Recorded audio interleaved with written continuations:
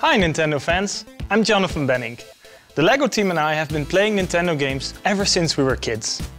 Today I'm happy to announce that we've worked together with Tezuka-san and his team for the last four years to co-develop a unique and never seen before way to play and interact with LEGO bricks. This is LEGO Super Mario. Now you can build, play, collect coins and go on adventures with Mario in the real world.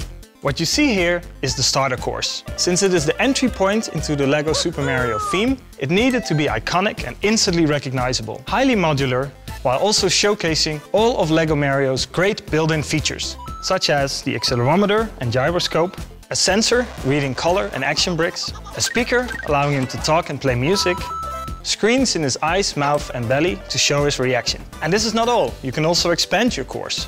Here is the world's first reveal of two of our expansion sets.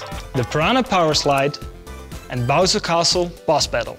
LEGO Super Mario launches globally the 1st of August, but pre-orders for the starter course start soon.